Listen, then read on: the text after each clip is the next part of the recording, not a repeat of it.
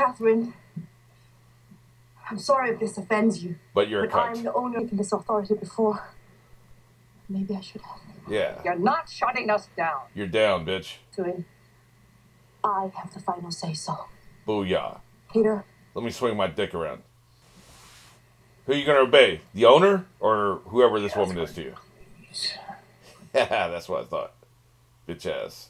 Tell the boys to pull the plug. But you know, it's a really big power cord, man. It takes about three of us to pull it out of the wall. I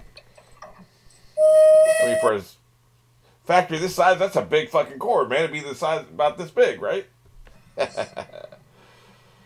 it's a metaphorical may I cord. I have your get it. You're all fired.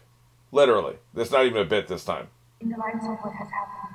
All work here was not. Bitch. Yeah. You're That's fired. weird. Oh shit. Yeah, Just I don't now- like you hearing me saying she's a bitch. But see, you just motivated me by firing me. I'm definitely going to tell her now. Today, all work Oh, here so it's will just stop. for today. Okay. I thought maybe it's for No good, man. The way they were acting, like this is just one day. Jesus, man. It's that big of a deal.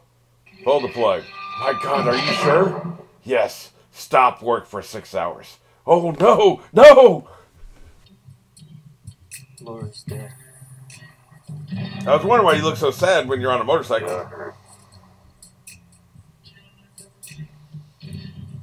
I don't want to look at what those gas prices are because I'm just going to be pissed off. Ed!